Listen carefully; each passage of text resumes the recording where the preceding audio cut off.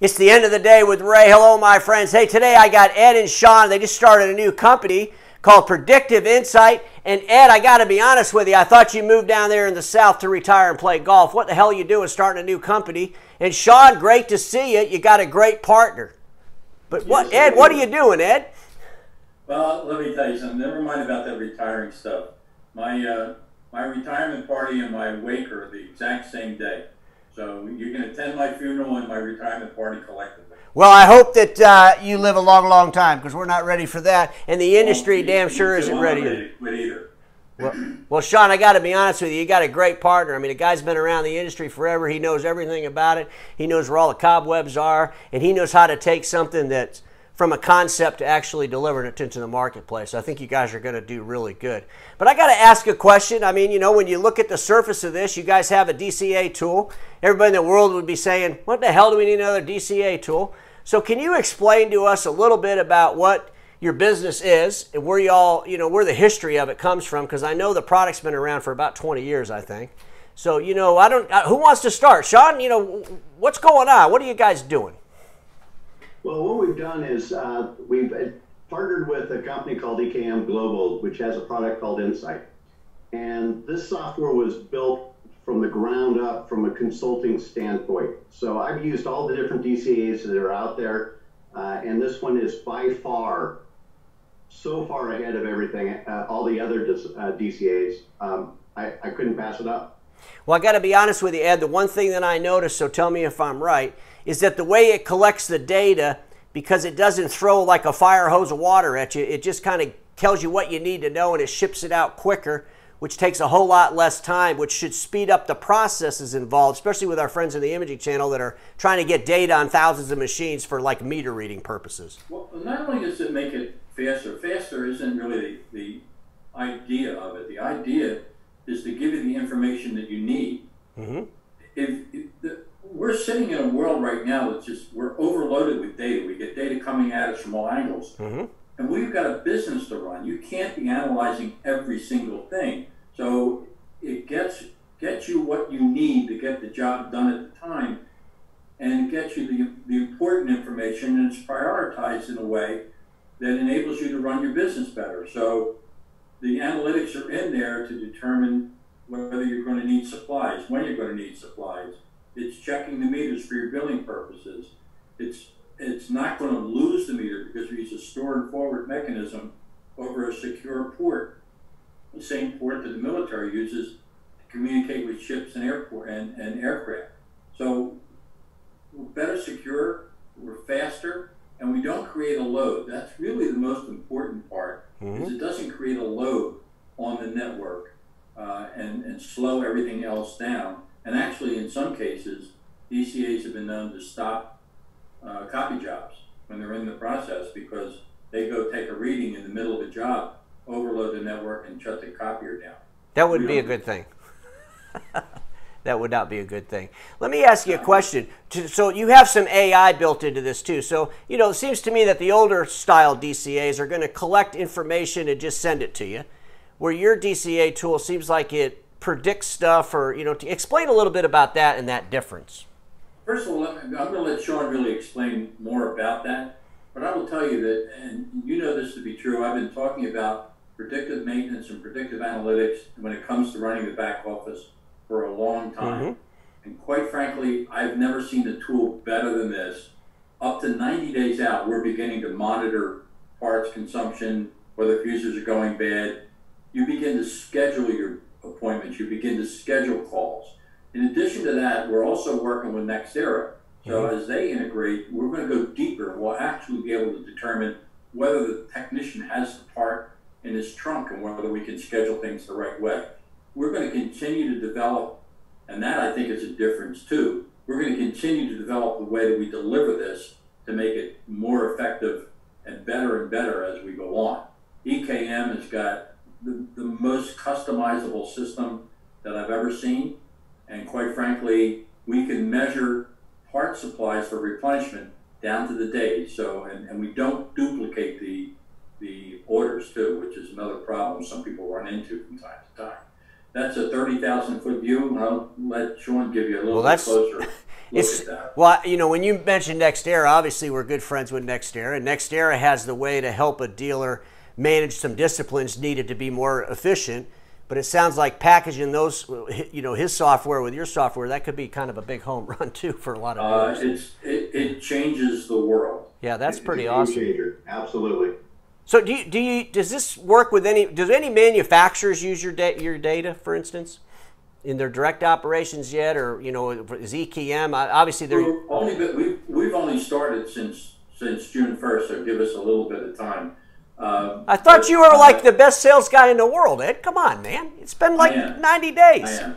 I'm actually, uh, I'm really not a very good salesman. I just can identify what good things are. all right And, buddy uh, I'll let the people buy it from me. I don't try to sell anybody anything. there you go But uh, HP and EKM have been very closely tied, and Shawn can probably elaborate more about that. He saw some of the history develop over time. Right. So HP came to us uh, quite a while ago uh, with the idea of SDS, uh, Smart Device Services. And so what we were able to do, most of the stuff, I would say about 80% of the stuff that they were looking to have done in the system was uh, already part of the EKM system. So it was just getting it to communicate with the HP uh, uh, servers and database.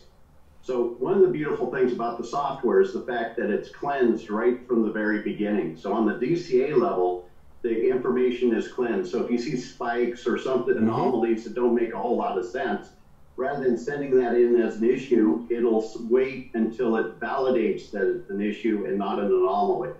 And then it goes up to the cloud, and again, it is it is cleansed as well and looked at with the uh, with the algorithms that are tied in.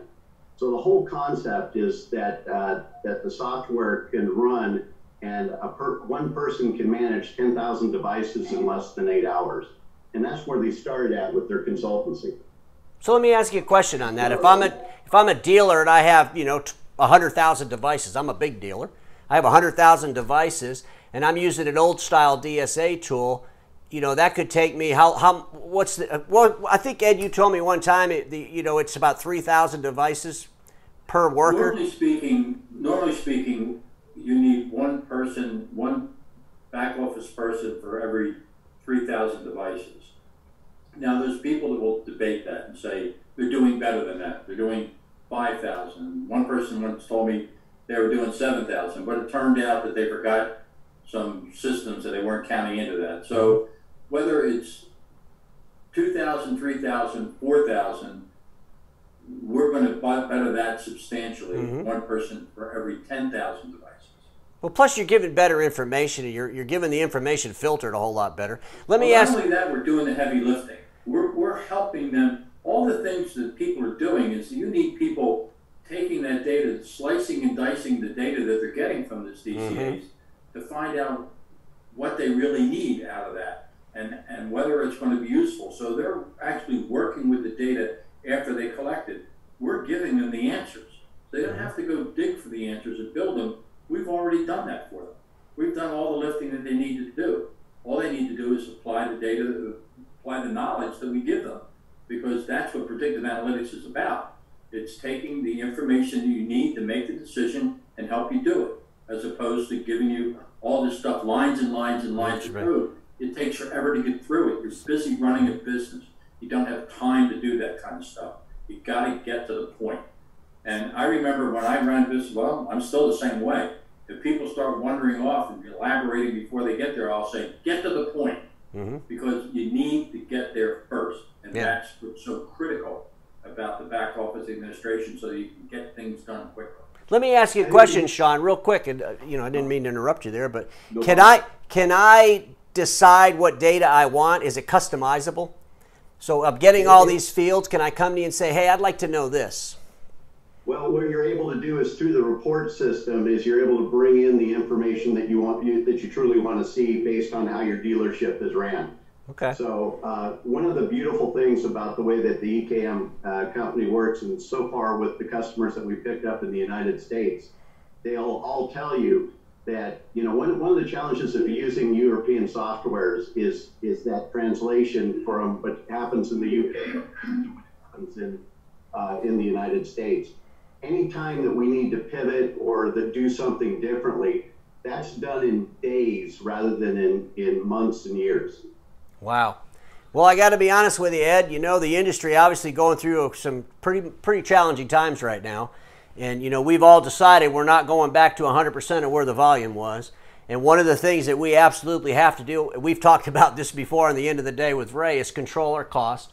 It sounds to me like you have an ability to control some cost. You have some ability to really get some analytics and be proactive in how we do service and how we even supply parts to techs. And partnered up with our friends over at Next Era. man, this is really exciting stuff. I can't wait to see it evolve and grow through the through the channel. I wish you guys the best of best of luck, obviously. And you know, I got to be honest with you. So you guys are together. So who's the boss? There is no boss. Do you flip a coin? Do you flip a coin if you have a disagreement? No, we uh, we're too far apart to have a boxing match. There you we go. All right. I, I, I tell you, one of the amazing things is we have been so aligned ever since we first started discussing partnering that every time we sit there and say, hey, I'm thinking about this, and Ed goes, yeah, that's perfect. That's what I was thinking about. I'm saying surprise, surprise, and vice versa. I, I think, you know, Ed's, Ed's a leader, and he's got a little bit uh, more miles than I do, but uh, uh, he, he always knows the direction to go. And, and I got to be honest, if it comes down to uh, where we disagree, I'm probably going to defer to Ed rather than uh, get into a fist fight over it. Yeah, make him fight a little bit. I actually did a calculation recently how long I've been in this business, and it scared the living hell out of me. There's people working in this business uh, that aren't as old as the Lord. I, I started in this industry in 1969. How the hell did I last this long? I mean, I, That's kind of amazing, actually. I'm thinking, hell, back in 1969, what were we getting data on? Oh, that typewriter ribbon's about ready to run out. Uh, it, what's funny, well, when I started in the business, I started in the computer industry with Univac in 1969. So, uh, a lot of changes, Ed. That's for damn sure. A lot of changes. Boy, a lot of changes over this period of time. And the whole idea of, uh, of, of Siri or talking into the computer was mm-hmm. Just sort of fantasy world at that time. Oh yeah. Uh, we were key punches and putting stuff in with interpreting cards and things of that nature. So lots of changes, a lot of exciting times ahead for those that seek excitement. You know what, guys? I wish you the best of luck. And you know, anything you want to wrap this up with? Yeah, I think I started uh, kindergarten in 1969, but yeah, uh, that, that pretty much. Be. Well, I would tell you, don't get stuck in status quo. The older stuff is really it, it's it's it's fading out get well, hold of the new technology and use the use what's available to help run your business. We used to be focused on putting razors out there so that they use the blades. Yep. But that razor is going to slow down. There's no stopping mm-hmm. it. It's over, and we have to get focused on transitioning from a transactional business to a services-based business. Yep. There's no other way to do it to be focused on your customer, be customer centric, and we'll help you with the tools to get there. And there's nothing better than data. That is, we can guarantee an immediate ROI uh, for a switchover right from day uh, from uh, probably day 30. Well, we'll put a link to how they can get a hold of you. I guess everybody knows Ed. Shawn, they're going to learn who you are real quick. I mean, you know, I, I think hanging around Ed, good exposure. My friends, I'm going to end this the way I always do, and you heard it from Ed first. Status quo is the killer of all that'll be invented. Don't get stuck oh, in status quo. I'll see y'all tomorrow.